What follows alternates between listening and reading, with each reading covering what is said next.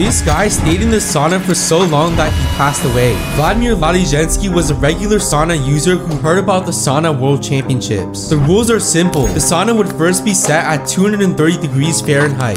Then, half a liter of water would be added to the stove after every 30 seconds. The last person remaining in the sauna would be the winner. 130 competitors showed up and Vladimir was willing to do whatever it took to win. He took some painkillers and covered himself in grease to get ready. When the contest started, people started dropping dropping like flies. The steam in the air literally burned people's skin. After several minutes, Vladimir was left with a Finnish maniac who had won the competition five times already. Five minutes in, both men had second and third degree burns, but they just wouldn't quit. Six minutes in, the two men collapsed. The organizers forcefully removed them from the sauna and poured cold water all over them. Medics rushed to the scene and they took the men to the hospital. Vladimir ended up passing away, which marked the end of the sauna world championships.